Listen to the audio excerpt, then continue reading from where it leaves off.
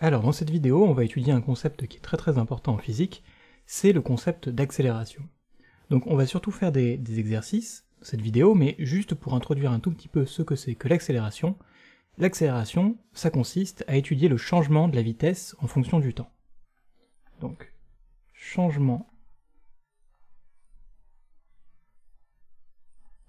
de la vitesse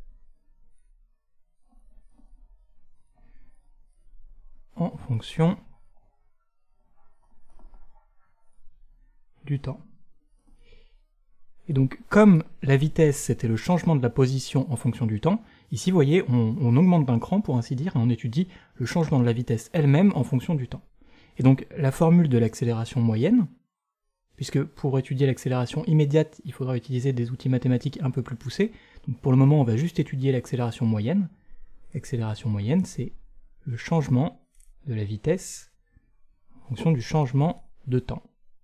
Et généralement, ces unités, ce sont des mètres par seconde au carré. Donc le seconde au carré peut paraître un peu étrange, mais c'est simplement pour voir que on étudie chaque seconde comment la vitesse, qui est en mètres par seconde, évolue.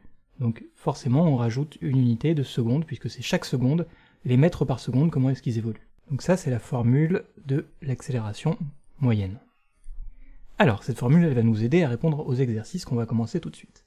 Donc, premier exercice, on nous dit un cheval de course au repos sort de son box et accélère vers l'ouest, vers l'ouest ça va être important, pendant 1,8 secondes jusqu'à ce qu'il atteigne 15 mètres par seconde. Quelle est son accélération moyenne?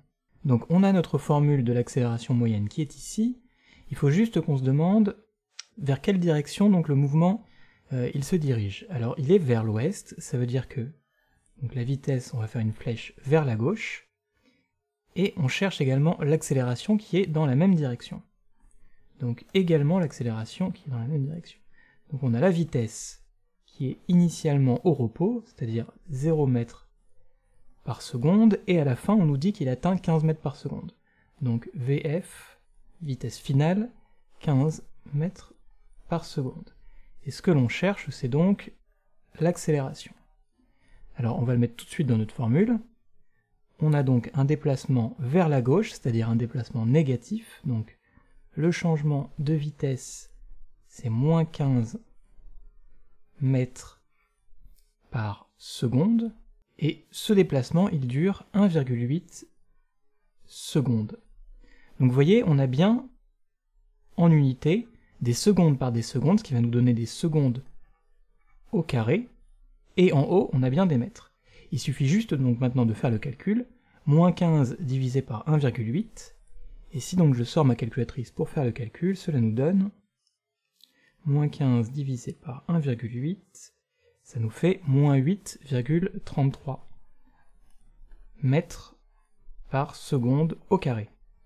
Et donc ça c'est l'accélération, et vous voyez, c'est important, on a le signe qui est devant, le moins, qui nous indique donc que cette accélération, elle se situe vers la gauche. Alors maintenant, deuxième exercice. Donc le deuxième exercice, il nous dit, imaginons que le train dans le dessin A, alors c'est donc celui-ci, accélère du repos jusqu'à 30 km par heure en 20 secondes. Quelle est son accélération durant cet intervalle de temps? Donc on réutilise notre formule de l'accélération moyenne en se demandant toujours bien les unités, dans quel sens euh, elles vont être.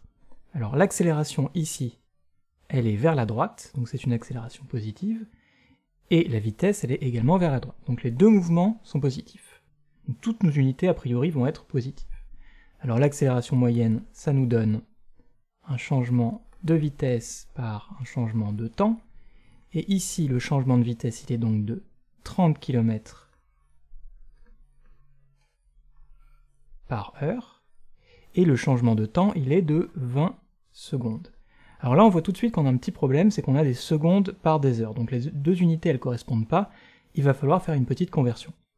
Donc on change les heures, on se demande combien est-ce qu'il y a d'heures, combien est-ce qu'il y a de secondes dans une heure, donc il y a 3000, ou plutôt il y a une heure pour 3600 secondes, ça va nous permettre de supprimer les heures, puisque les heures se situent en haut et en bas. Et les kilomètres, c'est pareil, c'est pas ce qui nous intéresse, on veut des mètres par seconde. Donc les kilomètres, ça va nous faire 1 km pour 1000 mètres.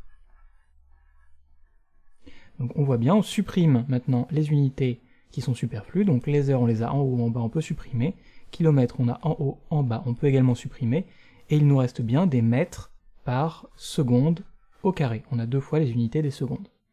Donc si maintenant on sort la calculatrice et on fait le calcul, alors maintenant en sortant la calculatrice, ça nous fait 30 fois 1000 divisé par 20 fois 3600, ce qui nous donne 0,42.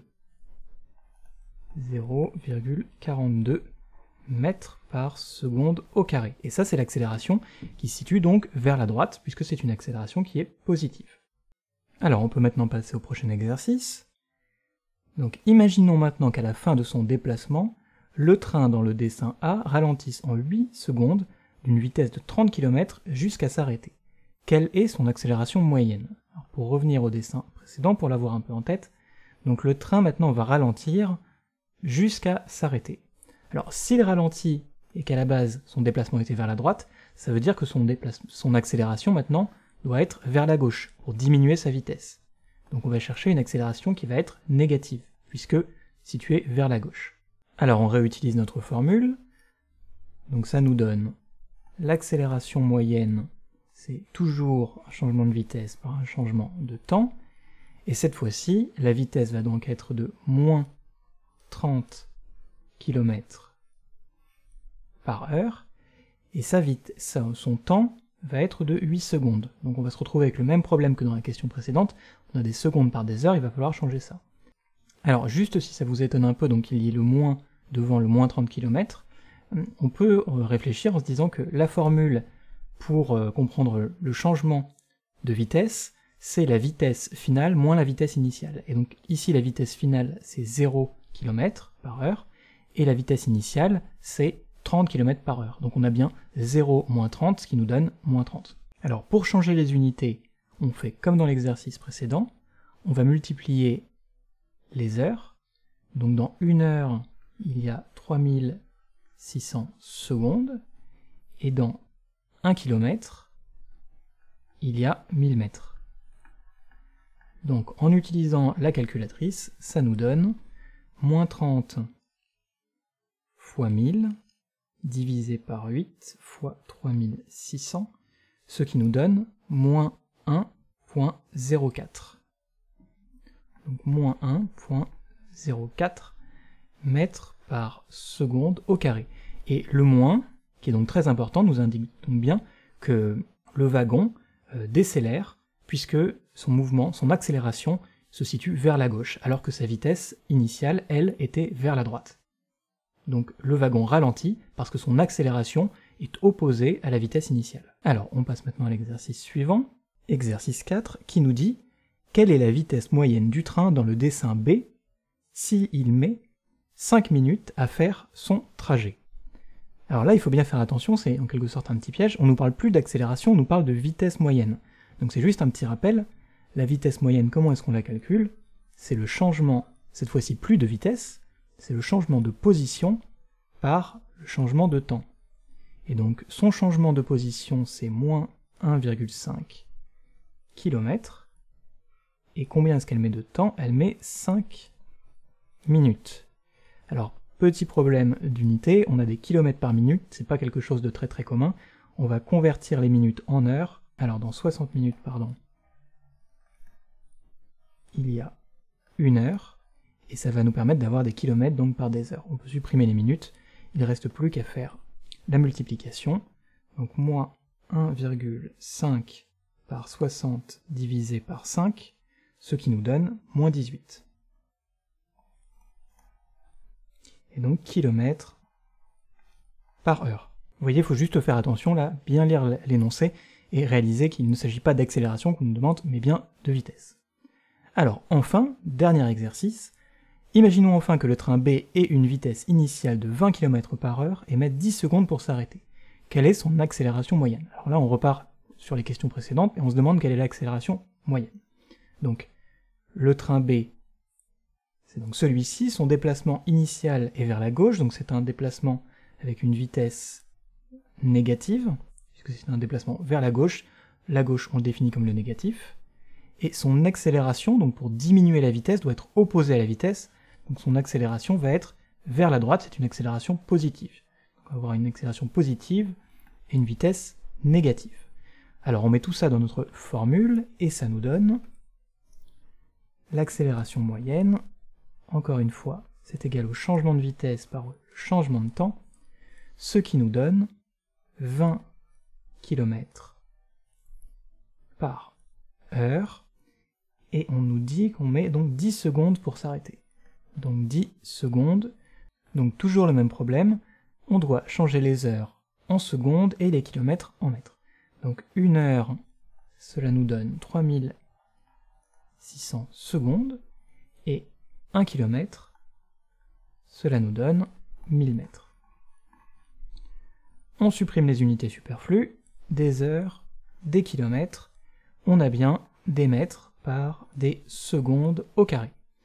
Alors, en faisant la multiplication, cela nous donne 20 par 1000 divisé par 10 fois 3600, ce qui nous donne 0,5. Donc, en répétant, on va arrondir à 0,56 mètres par seconde au carré. Et on voit que notre unité est positive, donc il s'agit bien d'une accélération vers la droite, qui est bien opposée à la vitesse vers la gauche. Voilà, j'espère que ces petits exercices auront pu vous aider. Si ça vous a aidé, n'hésitez pas à laisser un j'aime, et puis on se voit dans la prochaine vidéo pour encore de la physique.